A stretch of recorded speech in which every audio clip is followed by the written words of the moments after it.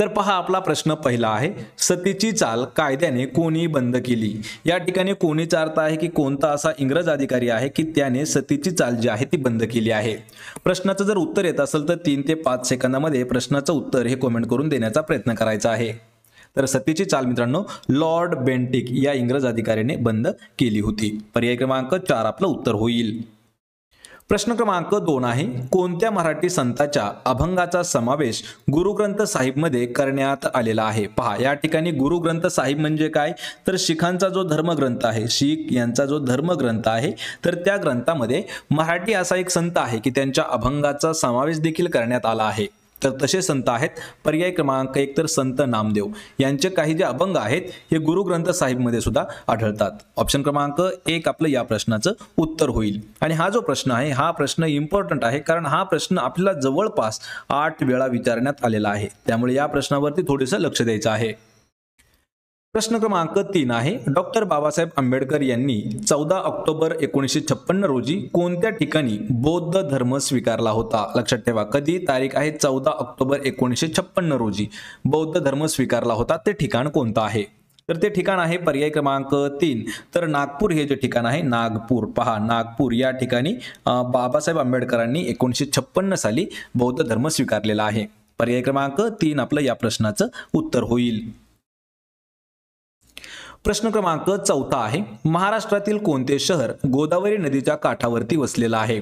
महाराष्ट्रातील दिलेल्यापैकी लक्षात ठेवायचे यामध्ये अकोला नाशिक अहमदनगर अमरावती. यापैकी असं कोणतं शहर आहे की जे गोदावरी नदीच्या काठावरती आहे?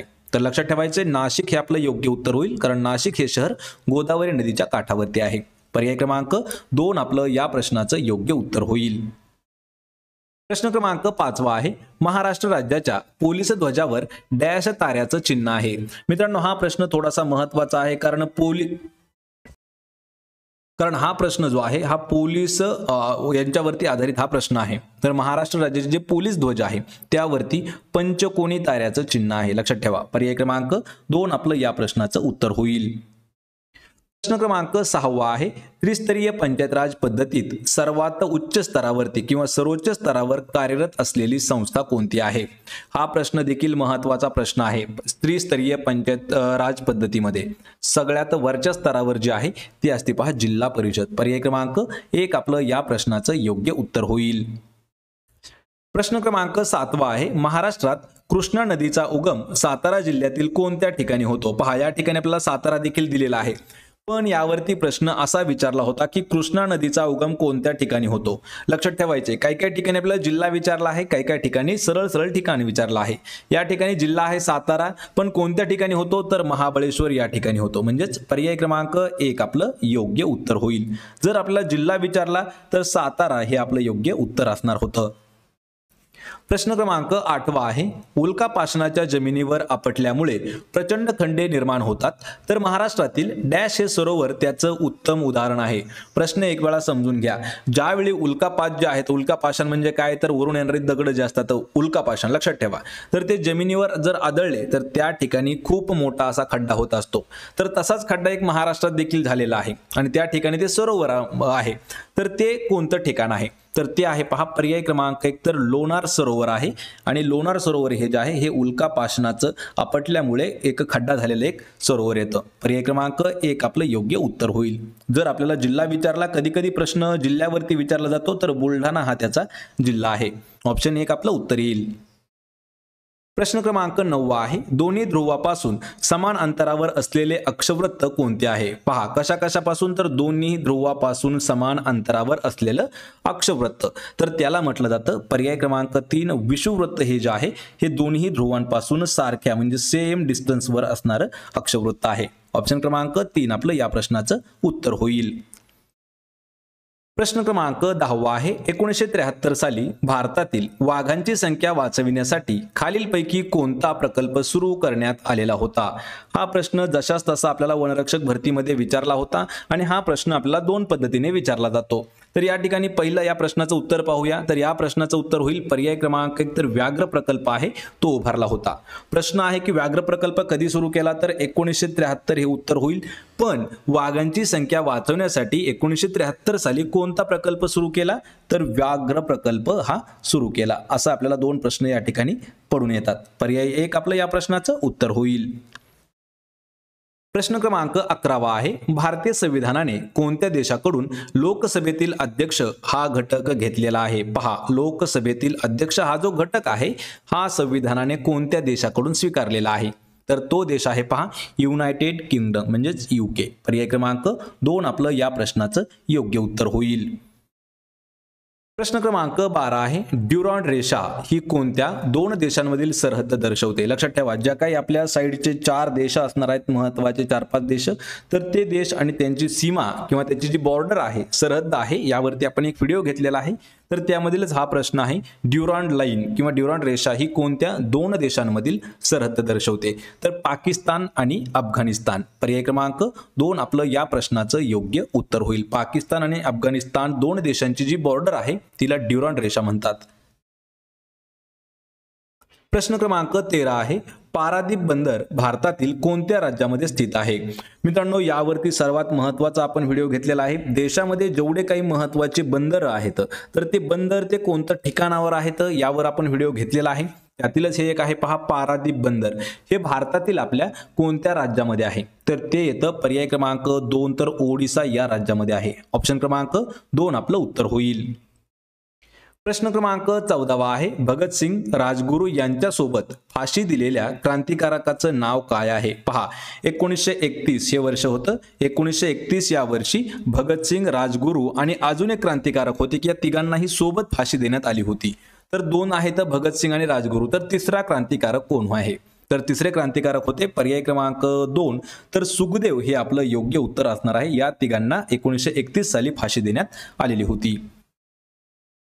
प्रश्न क्रमांक पंधरा आहे. संत गाडगे महाराज व राष्ट्रसंत तुकडोजी महाराज या दोघांची जन्मभूमी कोणत्या जिल्ह्यात आहे? पहा यावर आपल्याला नेहमी दोन प्रश्न विचारले जातात.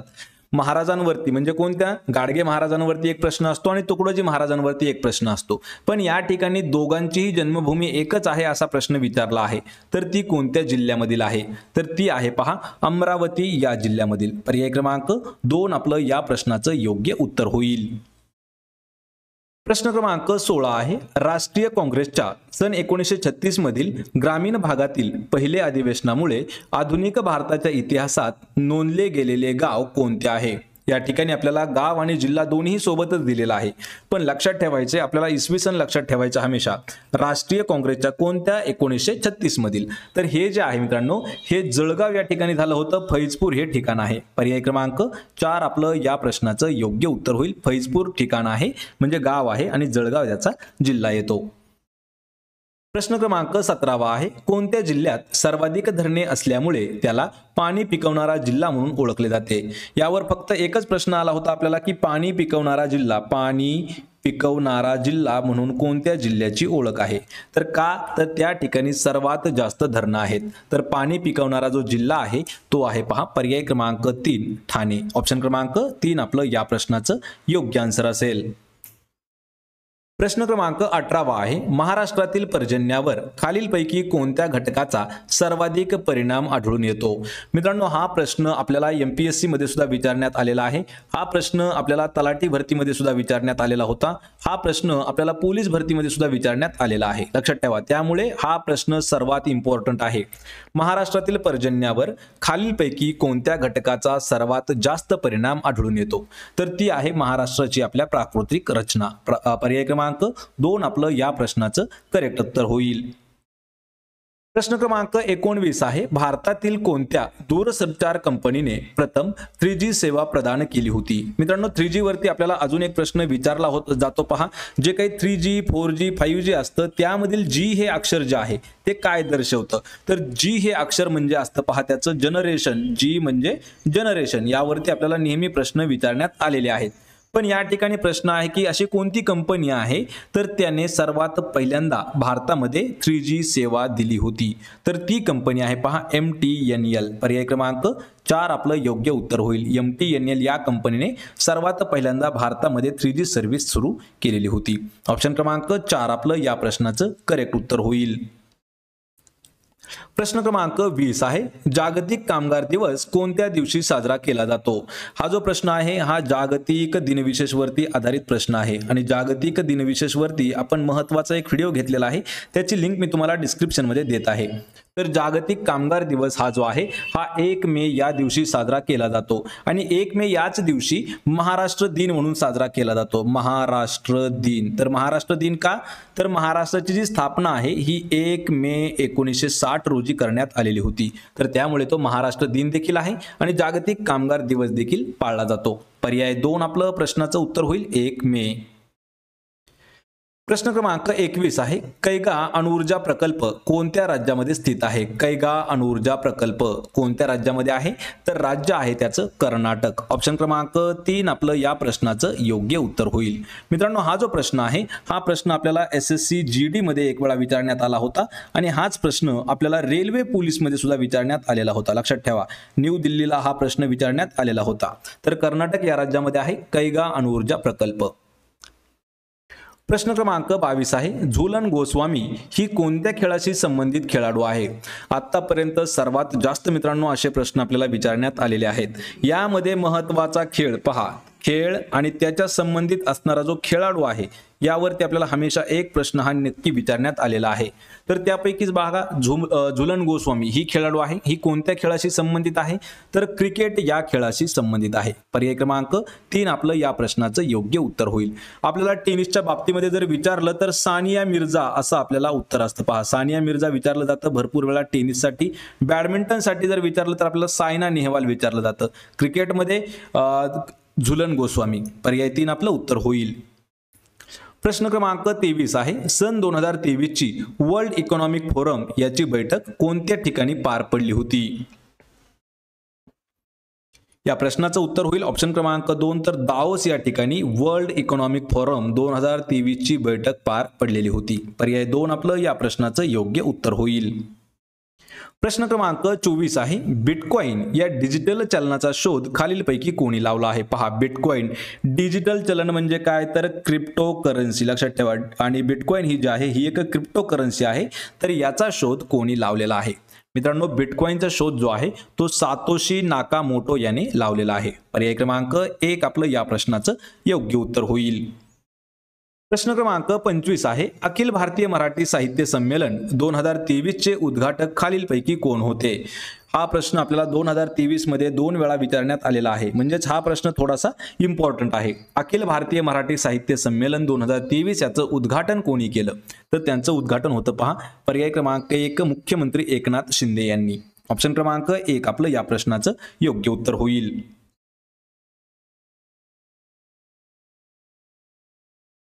तर पहा आपला प्रश्न पहिला आहे.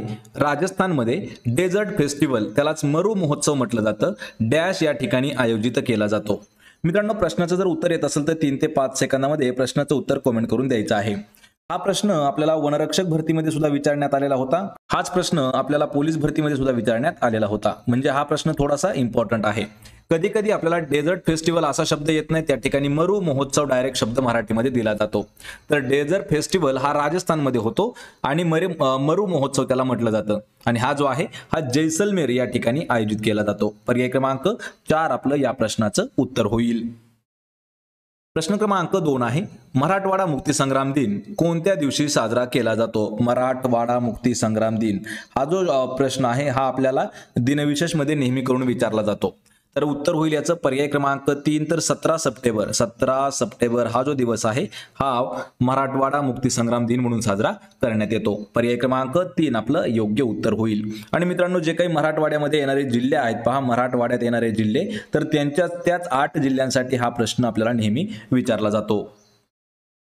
प्रश्न क्रमांक तीन आहे मराठी सत्तेचा उदय. हे पुस्तक खालीलपैकी कोणत्या लेखकाने लिहिलेलं आहे? पहा या ठिकाणी कोटण्या झालेला आहे. तर ते कोणत्या लेखकाने आहे? प्रश्न थोडासा मित्रांनो कधी पण समजून घ्यायचा आहे. तर कोणत्या लेखकाने लिहिलेले आहे? पुस्तकाचं नाव आहे मराठी सत्तेचा उदय. हा प्रश्न आपल्याला जशाच तसा तलाठी भरती दोन हजार तेवीस ला विचारण्यात आला होता ज्यावेळी ती परीक्षा टी सी एसने घेतलेली होती. तर मराठी सत्तेचा उदय हे जे आहे हे न्यायमूर्ती रानडे यांनी लिहिलेलं आहे. ऑप्शन क्रमांक तीन आपलं या प्रश्नाचं अचूक उत्तर असणार आहे. प्रश्न क्रमांक चौथा आहे. खालीलपैकी कोणत्या सेवा क्षेत्राकरिता नोबेल पारितोषिक दिले जात नाही? पहा ऑप्शनमध्ये जे जे चार ऑप्शन आहेत शांतता साहित्य कला आणि रसायनशास्त्र. तर यापैकी अशी कोणतं क्षेत्र आहे की त्यामध्ये नोबेल पारितोषिक जे आहे नोबेल पुरस्कार तो दिला जात नाही? तर या ठिकाणी उत्तर होईल याचं. पर्याय क्रमांक तीन कला म्हणजे जे आर्ट कलाकार आहेत त्यांच्यासाठी नोबेल पारितोषिक हे दिलं जात नाही. यामध्ये शांततेचा पुरस्कार आहे साहित्यामधील आहे आणि रसायनशास्त्रामधील देखील आहे. पण नोबेल पुरस्कार हा कला क्षेत्रामध्ये दिला जात नाही. पर्याय क्रमांक तीन आपलं उत्तर होईल. प्रश्न क्रमांक पाचवा आहे. महाराष्ट्रातील कोयना वन्यजीव अभयारण्य खालीलपैकी कोणत्या जिल्ह्यामध्ये स्थित आहे? पहा कोयना वन्यजीव अभयारण्य कोणत्या जिल्ह्यामध्ये स्थित आहे? मित्रांनो हा प्रश्न आपल्याला दोन ते तीन वेळा फक्त आणि फक्त दोन हजार तेवीस मध्येच विचारण्यात आलेला होता. या प्रश्नाचं योग्य उत्तर असणार आहे पर्याय क्रमांक दोन जो सातारा जिल्हा आहे. तर सातारा जिल्ह्यामध्ये आहे पहा कोयना वन्यजीव अभयारण्य. हा प्रश्न आपल्याला एक वेळा उल्लेख याचा करण्यात आला होता पहा टी सी एस पॅटर्नमध्ये. त्यावेळेस हा प्रश्न विचारला होता की कोयना वन्यजीव अभयारण्य कोणत्या जिल्ह्यामध्ये आहे? सॉरी कोणत्या राज्यामध्ये आहे? तर महाराष्ट्र हे राज्य आपलं उत्तर असेल आणि जिल्हा विचारलं तर सातारा. पर्याय क्रमांक दोन आपलं या प्रश्नाचं उत्तर होईल. प्रश्न क्रमांक सहावा आहे महाराष्ट्र शासनाने सर्वसामान्य जनतेच्या तक्रार निवारण्यासाठी डॅश हे पोर्टल सुरू केलं आहे. पहा पोर्टलचा मेन उद्देश काय आहे? की सर्वसामान्य जनतेच्या तक्रारी निवारण करण्यासाठी एक महाराष्ट्र शासनाने पोर्टल सुरू केलं आहे. तर त्या पोर्टलचं नाव आहे पहा मित्रांनो आपले सरकार. पर्याय क्रमांक दोन आपलं या प्रश्नाचं योग्य उत्तर होईल. यामध्ये पहा आमचे सरकार आणि आपले सरकार यामध्ये भरपूर विद्यार्थी कन्फ्यूज होतात पण कधीही प्रश्न वाचताना पूर्णपणे प्रश्न आणि त्याचे ऑप्शन एकदम क्लिअर रीड करायचे आहेत. तर लक्षात ठेवा आपले सरकार हे आपलं उत्तर होईल. पर्याय क्रमांक दोन. प्रश्न क्रमांक सातवा आहे. देशातील पहिले कृषी निर्यात सुविधा केंद्र कोणत्या ठिकाणी स्थापन करण्यात आलेले आहे? जशास तसा वनरक्षक भरतीला हा प्रश्न पडलेला होता आणि हाच प्रश्न पोलीस भरतीमध्ये सुद्धा जशास तसा पडलेला आहे. तर पहा देशातील पहिलं कृषी निर्यात सुविधा केंद्र कोणत्या ठिकाणी स्थापन करण्यात आले आहे? तर ते करण्यात आलं आहे पहा पर्याय क्रमांक दोन पुणे या ठिकाणी. लक्षात ठेवायचंय पुणे हे जे शहर आहे मित्रांनो आपल्या महाराष्ट्राच्या दृष्टिकोनातून पुणे आणि मुंबई हे सर्वात महत्त्वाचे दोन शहर आहेत. कारण जवळपास यांच्यावरच आपल्याला नेहमी आठ ते बारा प्रश्न हे याच दोन शहरावरती विचारले जातात. पर्याय क्रमांक दोन आपलं या प्रश्नाचं उत्तर होईल. प्रश्न क्रमांक आठवा आहे. मीना बंकम हे आंतरराष्ट्रीय विमानतळ खालीलपैकी कोणत्या ठिकाणी स्थित आहे? पहा मीना बंकम. या ठिकाणी हा प्रश्न आपल्याला तलाठी भरतीमध्ये विचारण्यात आला होता. हा प्रश्न मित्रांनो आपल्याला S S C G D मध्ये सुद्धा S S C G D मध्ये सुद्धा विचारण्यात आलेला आहे. पहा मीना बंकम हे आंतरराष्ट्रीय विमानतळ चेन्नई या ठिकाणी स्थित आहे. आपल्याला कधी कधी फक्त आणि फक्त राज्य दिलं जातं तर राज्य आहे त्याचं तामिळनाडू आणि शहर आहे चेन्नई. ऑप्शन क्रमांक चार आपलं उत्तर होईल. प्रश्न क्रमांक नववा आहे पोलीस स्मृती दिन म्हणून कोणता दिवस पाळला जातो? पोलीस खात्यावरचा महत्त्वाचा दिनविशेष वरती हा प्रश्न आहे. कारण तांत्रिक प्रश्न जर आपल्याला कधी विचारले तांत्रिक म्हणजे काय? तर पोलीस डिपार्टमेंट वरती. तर तांत्रिक प्रश्न जर कधी विचारले आपल्याला तर त्यामध्ये या प्रश्नाचं उत्तर आपल्याला मित्रांनो येणं गरजेचं आहे. कारण हा प्रश्न जे काही पोलीस भरतीवरती आपण जवळपास बहात्तर असे काही प्रश्न घेतलेले आहेत की त्या व्यतिरिक्त पोलीस भरतीमध्ये किंवा पोलिसांच्या संदर्भात एकही प्रश्न त्या बाहेरचा आतापर्यंत तरी आलेला नाही. तर पोलीस स्मृती दिन हा जो आहे हा एकवीस ऑक्टोबर या दिवशी पाळला जातो. पर्याय क्रमांक दोन आपलं या प्रश्नाचं उत्तर होईल. प्रश्न क्रमांक दहा आहे पोलीस खाते हा विषय कोणत्या सूचीमध्ये येतो? पहा पोलीस खातं जे आहे हे कोणत्या सूचीमध्ये मोडतं? केंद्र सूची राज्य सूची समवर्ती सूची वरीलपैकी नाही किंवा वरीलपैकी सर्व. तर यापैकी उत्तर आहे आपलं पर्याय क्रमांक दोन. तर राज्य सूचीमध्ये आहे पहा पोलीस खातं. ऑप्शन क्रमांक दोन आपलं या प्रश्नाचं अचूक उत्तर होईल. प्रश्न क्रमांक अकरावा आहे. स्वयंचलित वाहनातून कोणता विषारी वायू बाहेर पडतो? आतापर्यंत हा प्रश्न आपल्याला आरोग्य विभाग सोबतच हा प्रश्न आपल्याला म्हाडामध्ये विचारण्यात आला होता. हा प्रश्न आपल्याला पोलीस भरतीमध्ये सुद्धा विचारण्यात आलेला आहे. हा प्रश्न आपल्याला वनरक्षक भरतीमध्ये विचारण्यात आलेला आहे. आणि याच प्रश्नाचा उल्लेख म्हणजे प्रश्नाचा उल्लेख म्हणजे या ठिकाणी जो केमिकल आहे विषारू वायू जो आहे त्याचा उल्लेख आपल्याला एमपीएससी मध्ये सुद्धा करण्यात आलेला आहे. तर तो विषारी वायू आहे कार्बन मोनॉक्साईड. पर्याय क्रमांक एक आपलं या प्रश्नाचं उत्तर होईल जो की वाहनामधून बाहेर पडतो. ऑप्शन क्रमांक एक आपलं या प्रश्नाचं उत्तर होईल. प्रश्न क्रमांक बारा आहे. जगातील सर्वात मोठे प्राणी संग्रहालय भारतातील कोणत्या राज्यात उभारण्यात आले आहे? पहा जगातील विचारल्या या ठिकाणी. जगातील सर्वात मोठं प्राणी संग्रहालय कोणत्या ठिकाणी आहे? जर आपल्याला देश विचारला तर देश आहे पहा त्याचा भारत भारतामध्ये. लक्षात ठेवा जगातील सर्वात मोठं. आणि या ठिकाणी आपल्याला विचारलं की कोणत्या राज्यात आहे? तर राज्य ते आहे गुजरात. पर्याय क्रमांक एक आपलं या प्रश्नाचं अचूक उत्तर असणार आहे. प्रश्न क्रमांक तेरा आहे महाराष्ट्र इंटेलिजन्स अकॅडमी खालीलपैकी कोणत्या ठिकाणी स्थित आहे? महाराष्ट्र इंटेलिजंट अकॅडमी तर ही आहे मित्रांनो पुणे या शहरामध्ये. पर्याय क्रमांक चार आपलं या प्रश्नाचं योग्य उत्तर होईल. आणि आतापर्यंत जे काही पुणे पोलीस भरतीसाठी महत्त्वाचे प्रश्न झालेले आहेत पहा पुणे पोलीससाठी. त्यावरही आपण एक व्हिडिओ घेतलेला आहे. त्याची लिंक मी तुम्हाला डिस्क्रिप्शनमध्ये देत आहे. तो व्हिडिओ नक्की पाहून घ्या. कारण जर तुम्ही पोलीस ग्रामीण police S R P F Pimpri Chinchwad अशा ठिकाणचे जर पेपर देत असाल तर आपल्याला जवळपास आठ ते बारा जास्तीत जास्त मी तुम्हाला पंधरा प्रश्न सांगतो की त्या पंधरा प्रश्न आपल्याला नेहमी नेहमी विचारण्यात आलेले आहेत. प्रश्न क्रमांक चौदा आहे. विद्युत शेगड्या आणि विविध प्रकारचे विद्युत रोधक तयार करण्यासाठी धातूंचे कोणते संमिश्र वापरले जाते? पहा धातूंचं मिक्सर म्हणजे कोणते धातू आहेत की ते वापरले जातात? कशासाठी? विद्युत शेगड्या आणि त्या प्रकारचे विद्युत रोधक तयार करण्यासाठी. तर त्या ठिकाणी मित्रांनो जर्मन सिल्वर हा धातू वापरला जातो. पर्याय क्रमांक दोन आपलं या प्रश्नाचं योग्य उत्तर होईल. प्रश्न क्रमांक पंधरा आहे. रवींद्रनाथ टागोर यांनी खालीलपैकी कोणत्या संस्थेची स्थापना केली होती? रवींद्रनाथ टागोर यांनी काय आहे? जनगण मन जे आहे जन गण मन जन गण मन हे देखील रवींद्रनाथ टागोर यांनी लिहिलेलं आहे. पण यावर अजून एक प्रश्न आहे की त्यांनी स्थापन केलेली संस्था कोणती आहे?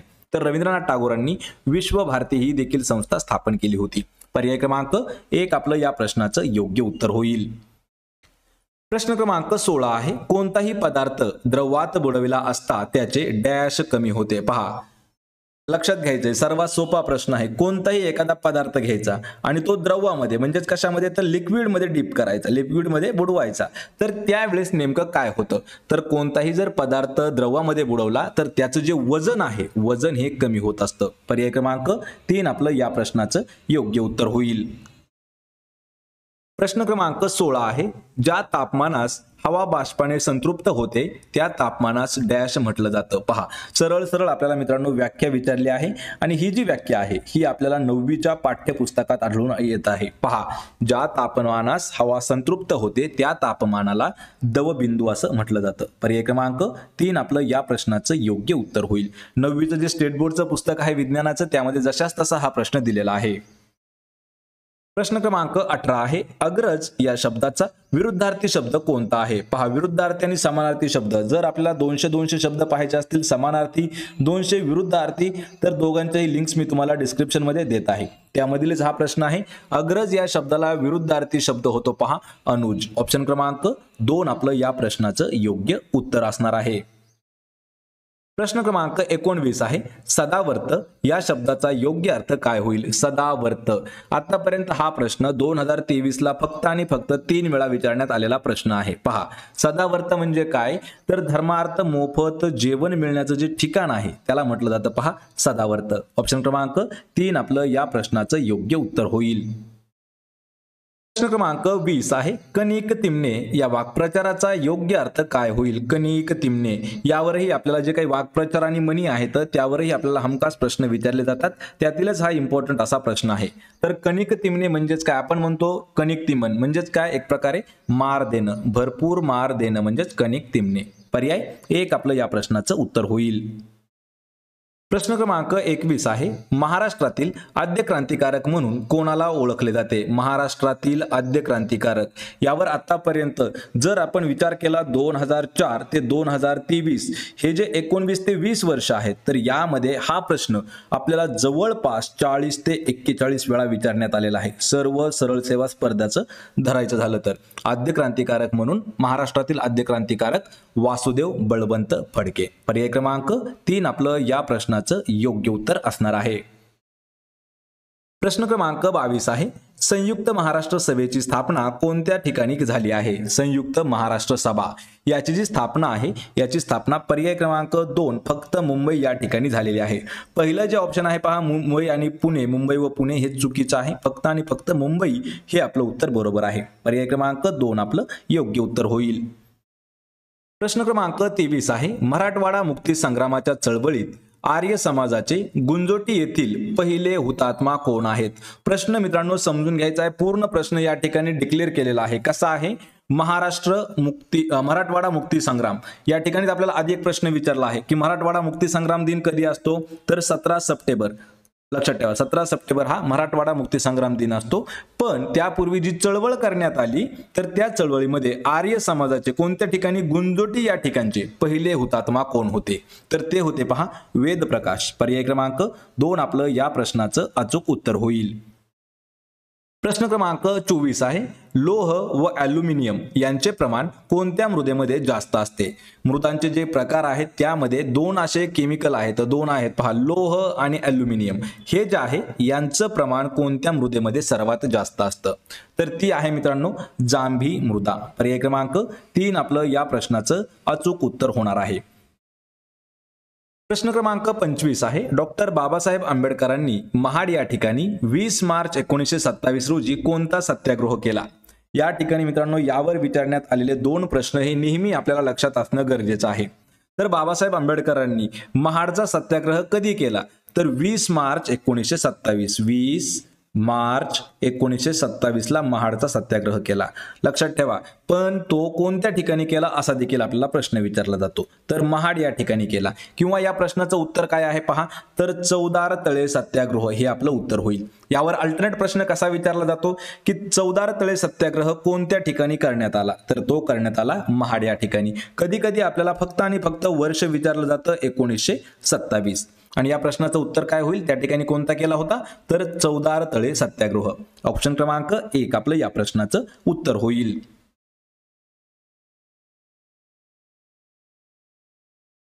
तर पहा आपला प्रश्न पहिला आहे. भारतीय नागरी सेवेचे जनक म्हणून कोणाला ओळखले जाते? भारतीय सेवेचा जनक कोणाला ओळखलं जातं?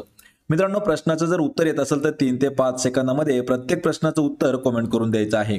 एक प्रकारे आपलं रिव्हिजन आणि मॉक टेस्ट देखील याच व्हिडिओमध्ये होऊन जाईल. तर भारतीय नागरिक सेवेचं जनक हे लॉर्ड कॉर्नवालिसला म्हटलं जातं. पर्याय क्रमांक दोन आपलं या प्रश्नाचं योग्य उत्तर होईल. आणि मित्रांनो प्रत्येक प्रश्नाचं उत्तर आपल्याला तीन ते पाच सेकंदामध्ये द्यायचं आहे. म्हणजे आपलं रिव्हिजन याच व्हिडिओमध्ये होत राहील. प्रश्न क्रमांक दोन आहे. पर्यावरणाबाबत पहिली जागतिक परिषद डॅश या ठिकाणी झाली होती. पहा कशाबाबत? पर्यावरणाबाबत. पहिली जागतिक परिषद कोणत्या ठिकाणी भरवण्यात आली होती? या प्रश्नाचं उत्तर मित्रांनो महत्वाचं आहे कारण हा प्रश्न आपल्याला हा प्रश्न पाच जून म्हणजे पर्यावरण दिन जो असतो त्यावेळेस सुद्धा हा प्रश्न आपल्याला विचारला जातो.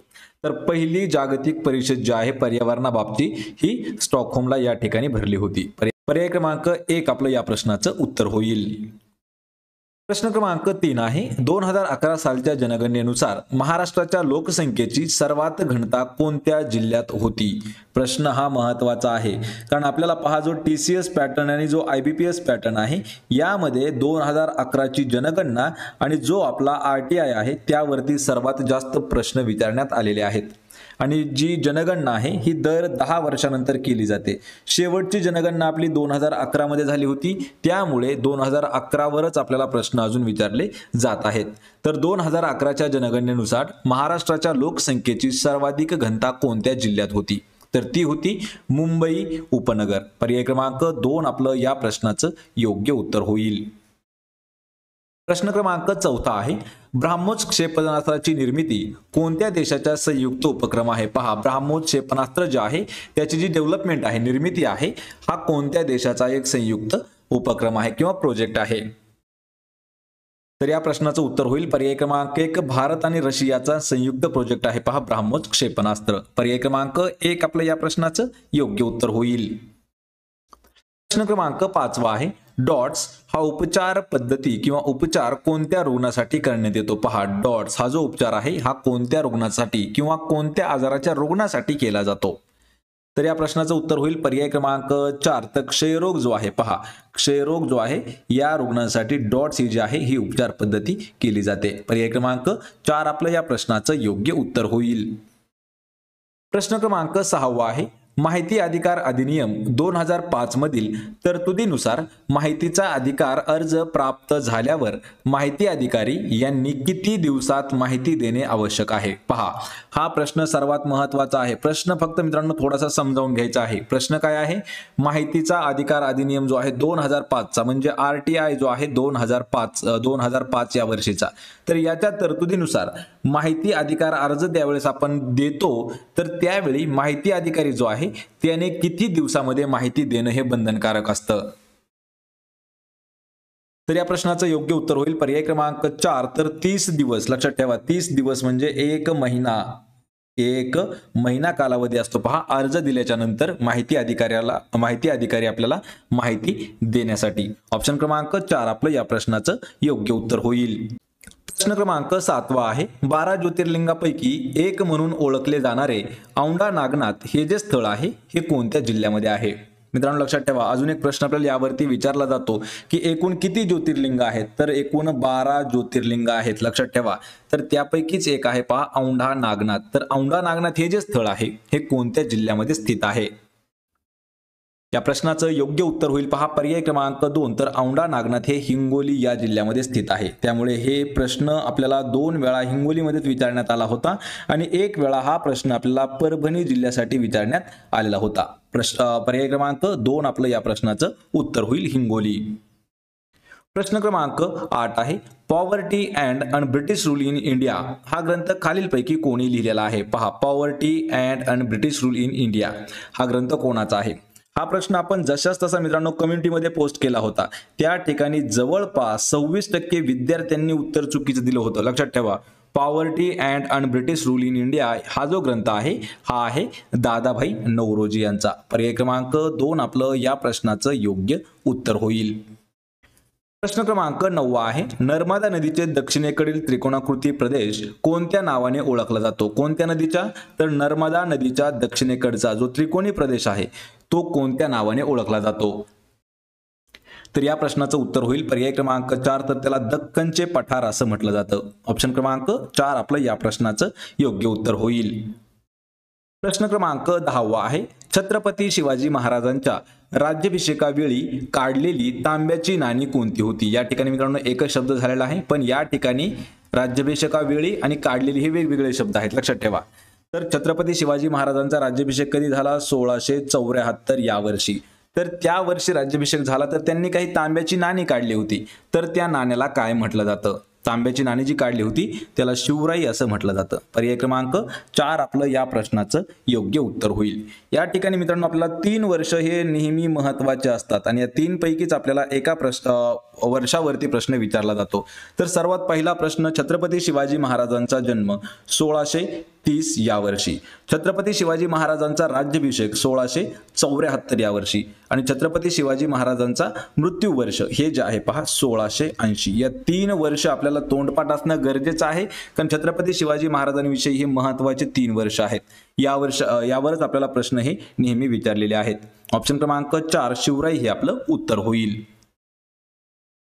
प्रश्न क्रमांक अकरा आहे. महाराष्ट्रात ग्रामपंचायतमध्ये कमाल व किमान सदस्य संख्या किती असते? पहा आपल्या राज्यामध्ये जी ग्रामपंचायत आहे काय आहे? ग्रामपंचायत. तर ग्रामपंचायतीमध्ये सदस्य संख्या असते. सदस्य म्हणजे काय? तर आपण एक प्रकारे सरपंच निवडणुकीचे सदस्य असतात.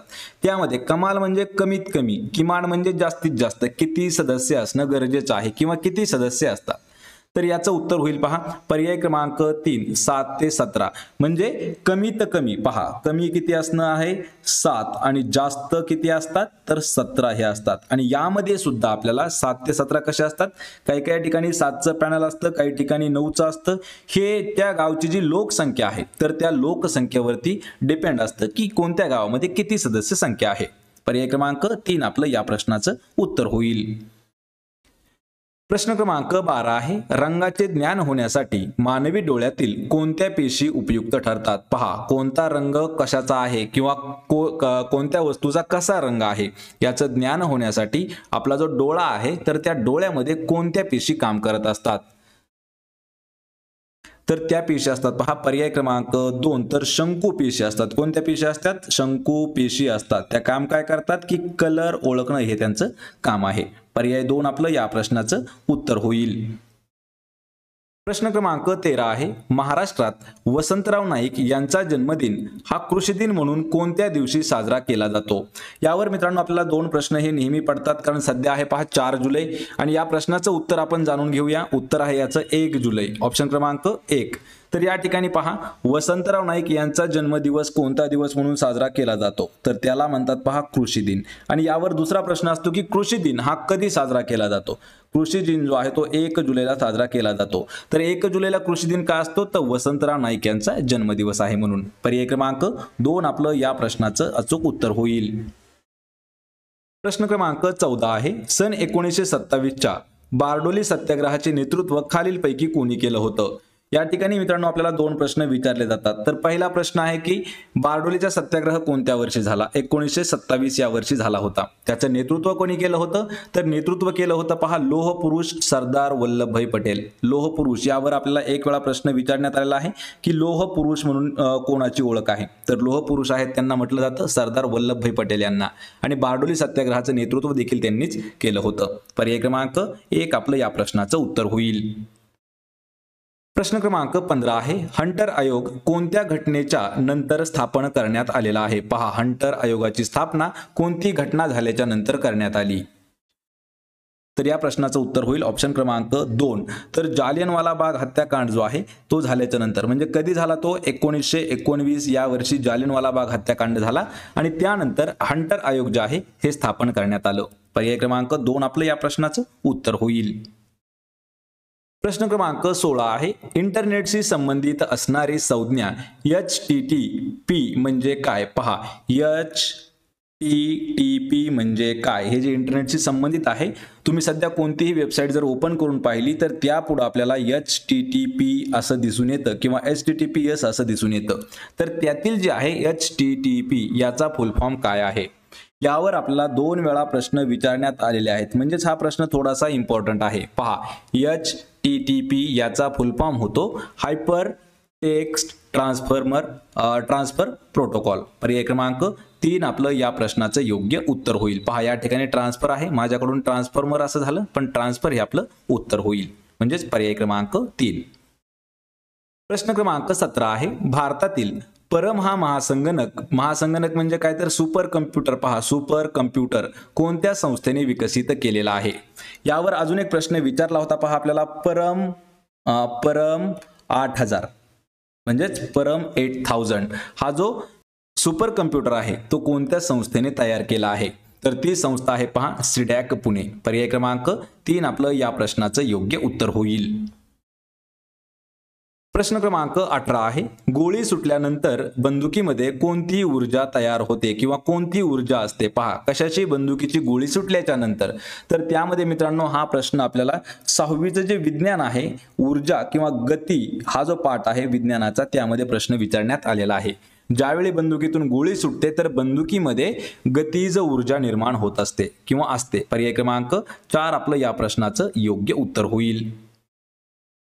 प्रश्न क्रमांक एकोणवीस आहे. गोबर गॅसचा प्रमुख घटक कोणता आहे? पहा गोबर गॅस मधून प्रमुख घटक गोबर गॅस आणि त्याचा प्रमुख घटक कोणता आहे? यावर मित्रांनो आपल्याला भरपूर वेळा प्रश्न विचारण्यात आलेला आहे. आणि गोबर गॅसचा प्रमुख घटक तो असतो. पहा पर्याय क्रमांक एक. त्याला म्हटलं जातं पहा मिथेन. ऑप्शन क्रमांक एक आपलं उत्तर होईल. प्रश्न क्रमांक वीस आहे. संपूर्ण सेंद्रिय शेती करणारे भारतातील पहिले राज्य कोणते आहे? संपूर्ण सेंद्रिय शेती म्हणजे काय म्हणू शकतो आपण त्याला? शंभर टक्के सेंद्रिय शेती करणारे भारतामधील पहिलं राज्य कोणतं ठरलं आहे? तर ते राज्य आहे मित्रांनो पर्याय क्रमांक तीन सिक्कीम हे राज्य पहिलं राज्य ठरलं की ज्याने सेंद्रिय शेती करणारं देशामध्ये मान मिळवला आहे. ऑप्शन क्रमांक तीन आपलं या प्रश्नाचं उत्तर होईल. प्रश्न क्रमांक एकवीस आहे. महाराष्ट्रात सर्वात मोठा प्रशासकीय विभाग खालीलपैकी कोणता आहे? प्रशासकीय विभाग लक्षात ठेवा हा प्रश्न महत्त्वाचा आहे. महाराष्ट्रातील सर्वात मोठा प्रशासकीय विभाग खालीलपैकी कोणता आहे? तर प्रशासकीय विभाग सर्वात मोठा आहे पहा छत्रपती संभाजी नगर विभाग. या ठिकाणी पहा आपण नवीन नाव घेतलेलं आहे याच ठिकाणी. पण आपल्याला ज्यावेळी दोन हजार तेवीसला प्रश्न विचारण्यात आला त्यावेळी औरंगाबाद असं नाव होतं. औरंगाबादचंच नवीन नाव छत्रपती संभाजीनगर ठेवण्यात आलेलं आहे. जर यदा कदाचित आपल्याला दोन हजार चोवीसमध्ये सुद्धा कधी कधी औरंगाबाद जर विचारलं तर औरंगाबाद आपलं उत्तर असेल. किंवा छत्रपती संभाजीनगर जर विचारलं तर छत्रपती संभाजीनगर हे त्याचं उत्तर असेल. पर्याय तीन आपलं या प्रश्नाचं उत्तर होईल. प्रश्न क्रमांक बावीस आहे. महाराष्ट्र पोलीस दलाचे मुखपत्र म्हणून ओळखले जाणारे मासिक खालीलपैकी कोणते आहे? पहा मासिक या ठिकाणी शब्द दिलेला आहे.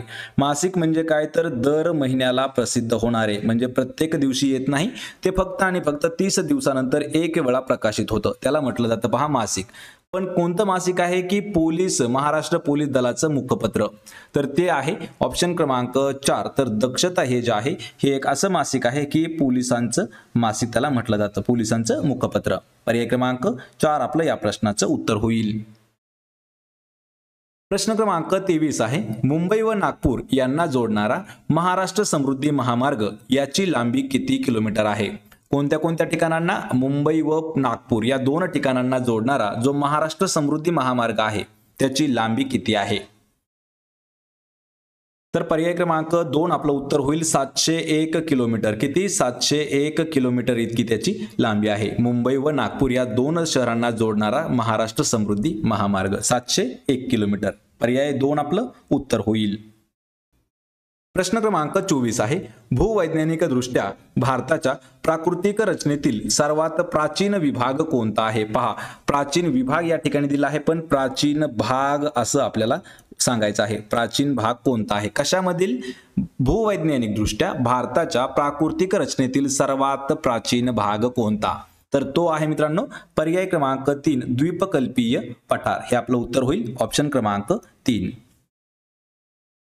प्रश्न क्रमांक पंचवीस आहे. हिंदू महासभा खालीलपैकी कोणत्या वर्षी स्थापन करण्यात आली होती? पहा हिंदू महासभा ज्या काही महत्त्वाच्या संस्था आहेत पहा संस्था त्याचे संस्थापक संस्था त्याचे संस्थापक आणि त्याचा स्थापना दिवस हे आपण महत्वाचं घेणार आहोत.